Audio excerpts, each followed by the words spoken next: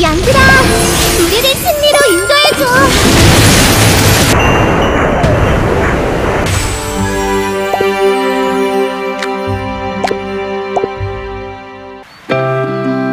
내가 길을 만들어주지.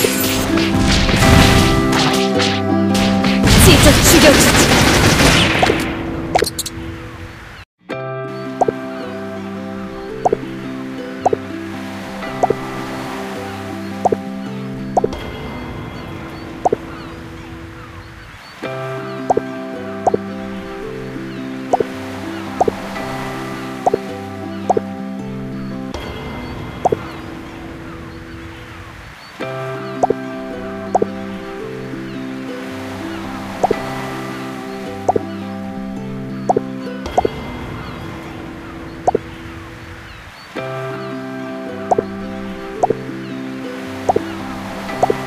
저 역시 거친 부분이 있습니다.